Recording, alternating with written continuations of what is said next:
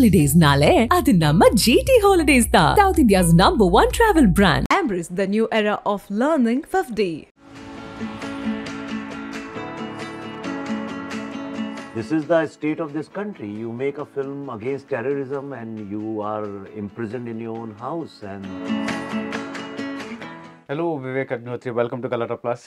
Hello, hello. You know, while I was walking down to meet you, to, to, to this place where we were talking, I noticed a, like policemen and all the security.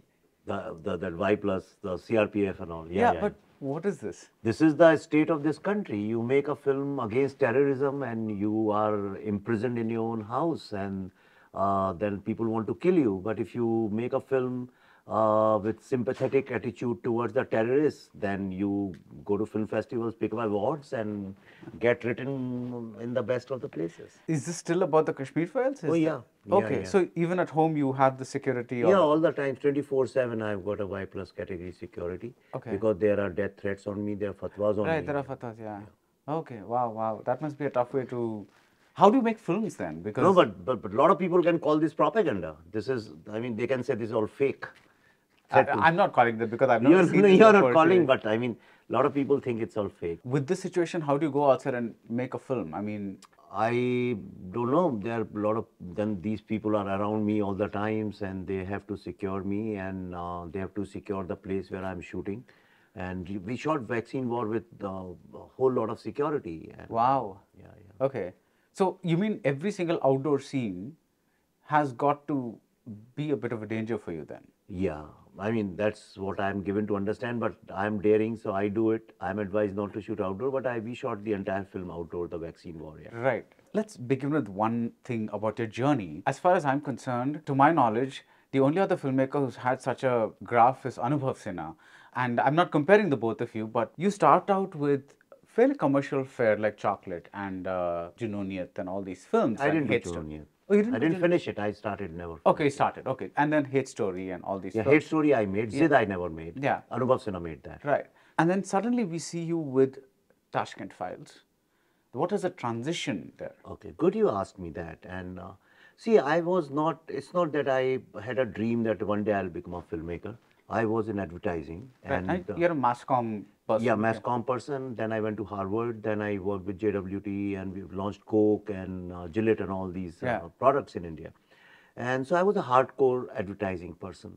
It's coincidentally, I uh, got to do a film called Chocolate. Before that, I was doing a film called Aram, which was based on Bofors scam. Okay. We had signed Naseeruddin Shah and Rajit Kapur. But then last minute financiers backed out. And then the fastest way to make a film at that time was to show a VCR of a foreign film, Hollywood film, and any star would say okay without even knowing what they were doing. So in 15 days, I finished the casting of Chocolate. That's how my journey in uh, this thing began. But after making Chocolate and Goal, uh, since I was, I'm not saying it out of arrogance, but definitely I had studied a lot. I'm educated. I was in uh, college politics, university politics, and I had a, definitely a worldview. But I realized that uh, you are as smart and as dumb as your star. You know, in, in Bollywood, everything's centered around star. Nobody cares about writer directors. Even the biggest of the hits, I mean, recently the superstar hits, you can't tell me who's the writer of those films. You can tell, but nobody in the public can tell. So nobody cares about them. Your film is as big and as bad as the star at that time is. And I didn't like this, leaving my destiny to the destiny of a star.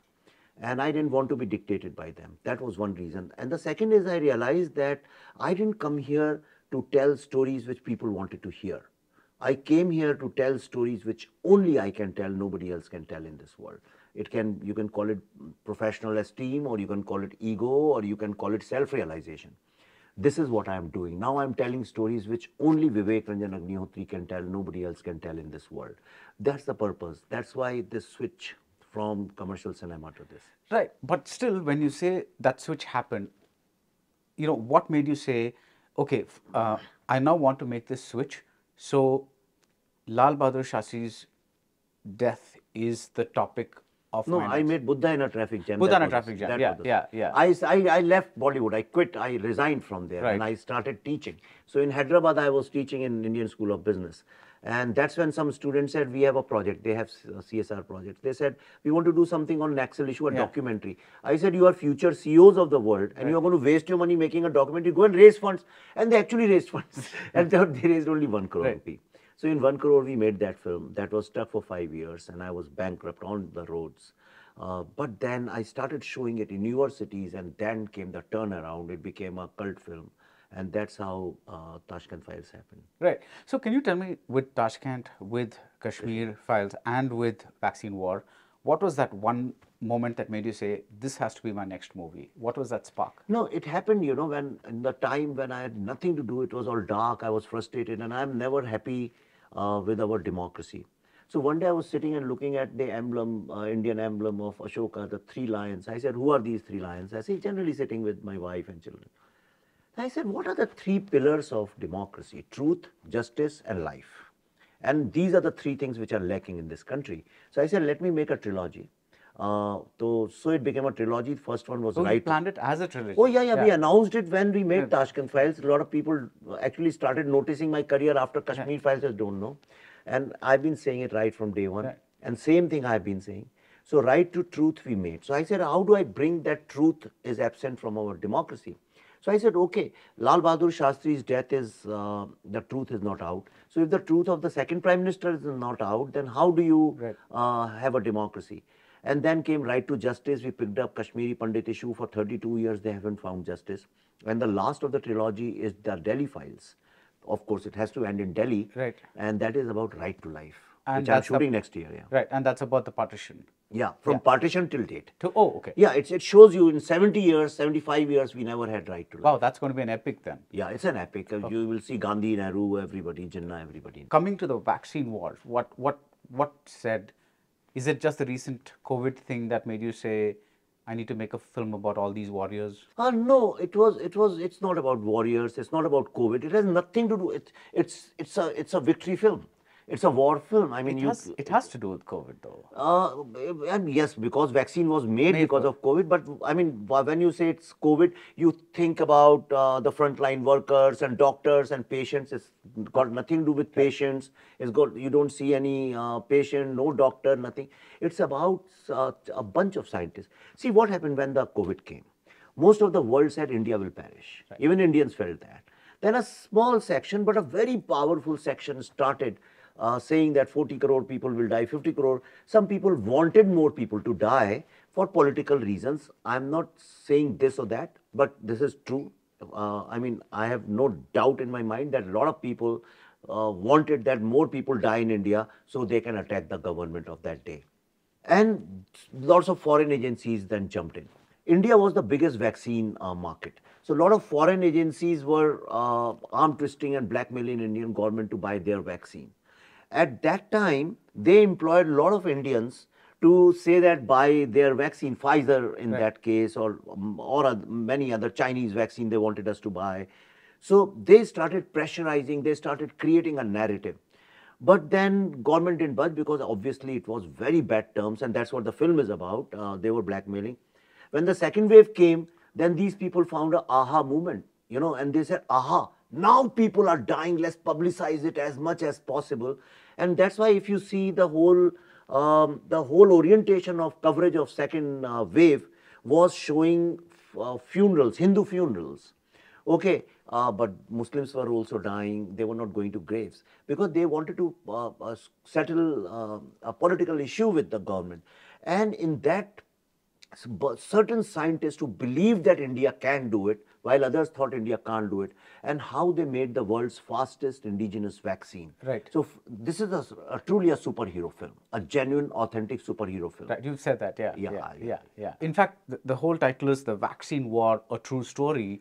Uh, Have you noticed that for the first time a film has been given a true story? Yeah, Uh, no I- other film is allowed to use that uh, Right. ever. So my question to you is: Any film, when you gather so much data and you compress it to a two-hour, two and a half hour film, there is going to be some. I'm not saying falsehood, but you have to compress it for. Yeah, we have uh, you have to like if there are 500 people, you have to make them three people Yeah, or something yeah, like that. You know, how important is truth in a movie? See, uh, now we are, we'll get into a philosophical uh, uh, sphere. What is truth? That is the question. Right. What is truth? Truth is basically in your given incomplete knowledge, okay, where you have the maximum evidence and data to support your belief at that point of time. That is nobody in this world has been able to find truth. If we had, it, if it was a conclusive thing, then there is no discussion on truth. Right. Okay, so the truth in this case was we indeed made the vaccine. That's truth. We are sitting in facing each other today, talking like this. Right. That indeed is truth. Right. In on 22nd of March, every single person in the world was thinking about death. That is truth. The whole world was shut down only once in the history of humanity in February, March till August. That is truth. You know, so these things are truth. Indian scientists were asked to go to war zone in Iran and uh, get 6,000 Shia Muslims from there. That is truth. So I have what I have done is which is on paper, uh, which is undeniable. Those things I have put together and made this film. So so this is the truth, which is common denominator, acceptable truth. Right. Vivek, I want you to uh, break down a, a contradiction for me. On the one hand, there is a there's an audience, there's a public that hugely patronizes your film, and they go in huge numbers. Kashmir Files was an undeniable blockbuster, which uh, I don't think Even was quite- Tashkent Files Well, ran for for the- 120 yeah, yeah, yeah, days. yeah, yeah. No, I mean, but the money that that Kashmir Oh, yeah. Files made was unbelievable for that. Like, it, I think it, everybody was just like shell shocked that that, Yeah, that money. yeah. So there's on the one side that. On the other hand, you have your critics Yeah. uh, who say, uh, I- I'm not just talking about the film critics who, uh, you know, but I'm also talking about your your your people who who say that okay, Vivek Agnihotri is a propaganda Don't filmmaker. Please ask No, me no, I'm not. saying- I have no Vivek. Vivek Yeah. Agnihotri is a propaganda filmmaker. He's a, uh, you know, he's a controversial filmmaker. Yes, What, what are your? How do you? I'm uh, a propaganda filmmaker and I want to ask a question who's not? right, Name one person on this earth who's not a propaganda filmmaker. right. Name one. I, I'm, I'm not sure how you define that. No, how do you define? So I'm you saying- are saying propaganda, so you tell me how. No, do no, no. I, I'm not. I'm saying that there are there are both points of view. That there is one one huge support force Yeah, for you. that will and- happen because I'm making political films, and that is my intention, honestly. Right. And I'm saying it. I have an agenda. I want my films to start conversation. Right. So pre-Kashmir files, nobody even knew that no Kashmiri Hindu lives in Kashmir because of terrorism. Okay, very few people knew. Right. But now everybody is discussing it. Even news channels and newspapers are forced to report even one death, one killing in Kashmir. They put it on front news, nine time, uh, prime time, 9 p.m. from Kerala to Kashmir. They report it. Earlier, it used to be like a small news in 10th page or 12th page in newspapers. I have brought it in forefront. Lal Bahadur Shastri's death before my film, on 2nd October, when the Prime Minister of India would tweet two tweets in the morning about Gandhiji and about Shastriji, he would go to both the uh, places, Rajghat and uh, Shastriji's this thing. If Gandhiji's tweet of Mr. Narendra Modi would get 10,000 retweets, Lal Bahadur Shastri would get 100 retweets. After my film, it's reverse. Shastri gets some 50,000 retweets and Gandhi gets still five, four, 5,000 retweets. This is how I've changed. Now, everybody in this country knows there was something fishy about Shastri's this thing. I wanted a conversation around that truth. I wanted a conversation around justice. And because of my film, Yasin Malik is in jail. So many cases have opened up. Recently, Government of India has opened Neelkant Ganju's case, which we showed in the film. Nobody in India knew that the judge of High Court was shot uh, in broad daylight by Yasin Malik in Jammu, and he was left to die there for so many hours. So I want to start conversation on vaccine. With this film, you call it propaganda, controversial, but when the film comes, every single child will know at least that it, it is the science of virology which gave you vaccine. Nobody even knows that. Right. Right? These scientists will come in foreground. People will know that there are disciplines of science besides uh, rocket science and information technology. Also, those glamorous uh, science. Virology is a science which saved you, and that's why we are sitting together. That is my purpose. After uh, uh, Delhi files, every child in this country will know the truth of partition, whether you like it or not. This is my intention. No, uh, Vivek, these are huge, huge subjects. How how do you go about your research? Yes, you have a background, but but tell me very very quickly, how do you? Okay, like, I'll tell you. Yeah. See, normally most of the people work on secondary uh, research. Secondary research is something is written else, here yeah. or some. Yeah. We work on primary research. That is the difference. Okay. We go to real people. Like uh, for Kashmir files, you know, we went to the real people. Uh, for Tashkent files, we went to the real people. In like in Delhi and in, in, in the vaccine war, we have worked with the scientists who did it. Yeah, in, fact, you said that most of the lines are their lines and not yeah, they're not mine. You're Yeah, yeah. I'm so glad you are the best researched person I have met in my entire life. I mean, nobody, people come, they have no clue what I say and what I don't say. So, and all the, in no film you'll find that the uh, the roles these people are playing, the real characters, the real real people. I'll just show you something. Uh, it's so so real that Dr. Priya Abraham, which Pallavi is playing. Okay, she was the director of NIV, a most important person. She sent this message just now. It says, Pallavi ji, I salute you. You have correctly picked up my emotions, responses, and struggles during the difficult time. Your professionalism and commitment to the role you take up make you such a celebrity. Congrats on the more. Anyway, so what I'm saying is because we spend time with them, we live with them, we talk to them, and we are being able to find at primary level that what actually happened. Then we take all these interviews and pick up the most common denominator, which everybody says. See, there are like few things people exaggerate, but there are few things every single person says, and then we corroborate it with the secondary data. So if somebody says that yes, Indians had to go to Iran to get the vaccine, then we find all the reports, government reports, private reports, critics, and all that. Only things which are true uh, means uh, in the given uh, scenario, we pick them up and make the film. Right. Let's talk about. I, I just saw this tweet that you retweeted. Somebody sent you this tweet. We are eagerly awaiting your work, sir. It is only you who make original content at large scale in Bollywood. Rest are all relying only on inspired or copied stuff. It is you who's keeping the Hind- Hindi industry alive. What is your comment on that? I have no comment on that. People write, I just retweet them. And let me tell you, I don't take social media very seriously. Seriously? Okay. I do not. Okay. For me, it's just a kind of a, a circus where all of us are laughing, participating, and forgetting next minute what was the joke, you know. I don't take it seriously. So a lot of people write to me. I know some people, they write it because they w- want me to retweet. Sometimes I just do it. I'm in campaign mode right now, you know. So I just, I'm promoting my film. I'm, I'm, I'm boycotted by everybody. Nobody is writing about me. There's an embargo on the vaccine war. So uh, I have no option but to just blow my own trumpet. But does it hurt somewhere that that there is this you've given this big hit and and nobody's acknowledging that? See, what happened recently when my trailer came? Okay, when Buddha in a traffic jam came, at least 50, 100 people reviewed that on YouTube. Right. When Tashkent Files no money, we had no money, we released in 175 screens. At that time also, these days, if you write a poster or you just write the name Jawan, then 10,000 people come and do the review. Oh, this is written in this font, written in that font, only of the title. People do so much of YouTubing these days. But such an important film when the vaccine war comes after making a 350 crore rupee film, and forget the money, I never talk about it, the kind of impact it created, nobody has reviewed it because uh, money is being paid, there's an embargo that nobody should utter our name. Uh, it doesn't hurt me. It gives me more uh, uh, drive, it gives me more motivation to work harder, but it also makes me feel very sad that what are we doing to this industry? we it's like it's like they call other people fascist. Who's a fascist here? Okay they if the stars are going to dictate the future of film industry somebody has to fight it. So i am that disruptor. I am that opposition. I am that uh, person who's challenging the establishment. My philosophy is simple you must have seen all these stars stand up and go to protest and they say our job is to challenge the establishment i say uh, I make movies. First, my first dharma is to challenge the establishment of movies.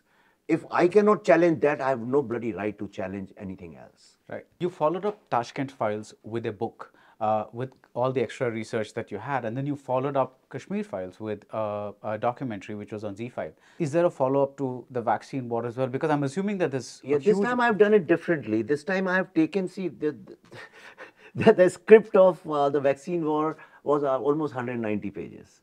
There are some 130 scenes which we have deleted from the film. We couldn't. I documented everything which happened, but then we shot everything. But uh, you know, in the film you cannot do that. So uh, that book is coming out now. I think uh, in very very soon, maybe uh, coinciding uh, with the film. So that is coming out. So people get to get will get the entire picture A to Z uh, in the book. Now, about uh, the Delhi files, which is going to be our next project. Have you begun work on it? Oh yeah, the research is over. My DOP has come from US and he's an Indian guy, but he works in Hollywood. So they are already the production designer. Everybody is working. When I am traveling, once I go back, they'll make presentations. Hopefully, we are planning to start in Jan- January uh, 2024. Right. Uh, two last questions. One is uh, in the trailer of Vaccine War, you have this uh, Srishti se pehle Satya Ji, nahi tha. ji, ji. What what made you say that fit in there? Because at, at least for my generation, I think most of us knew through Bharat Bharat Ek Ek Khoj. You know, yeah, that's actually, it is a. It's not Bharat Ek Khoj. This is a. This is a sukt from Rig Veda. Rig Veda. Yeah, no, no, I know, but It was but we translated. know it from the even I know it from there, and also I know it because Pallavi was uh, in Bharat Ek Khoj. Yeah, she yeah. played all those roles.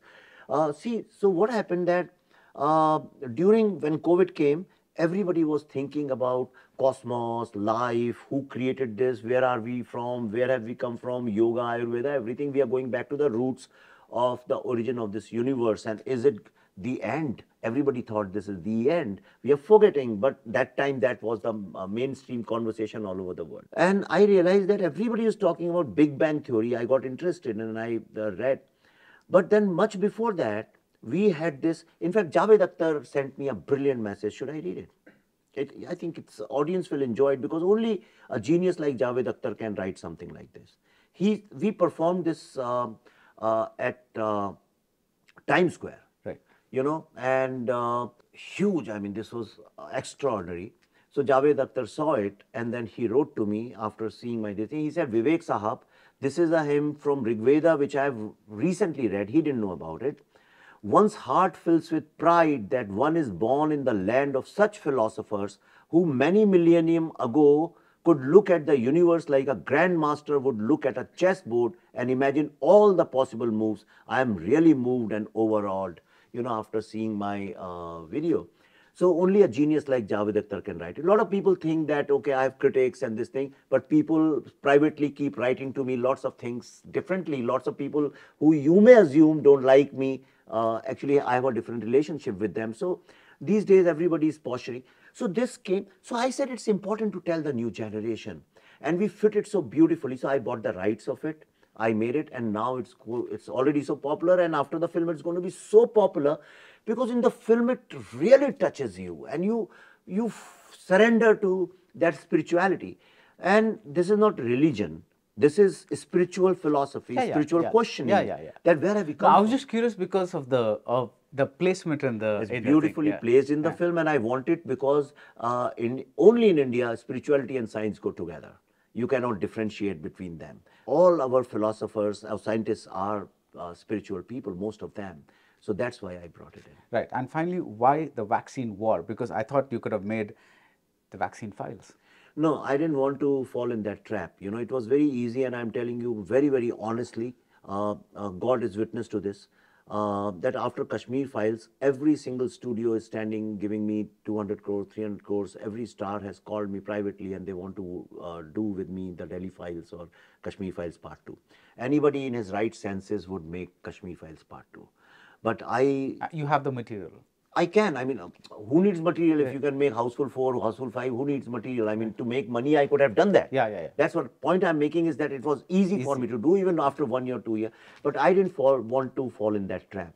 So we went back and made a smaller film. We struggled so hard. For 50 days, I haven't slept. Pallavi and I running around, running around. I don't have to do that. I can put, but whatever mon- little money we earn, we have put it back into this film. And if this film doesn't work, okay, I'm back to where I was before uh, Kashmir Files at to square one. This is how we are. This is how we make our films, and people don't understand it because this is not a template.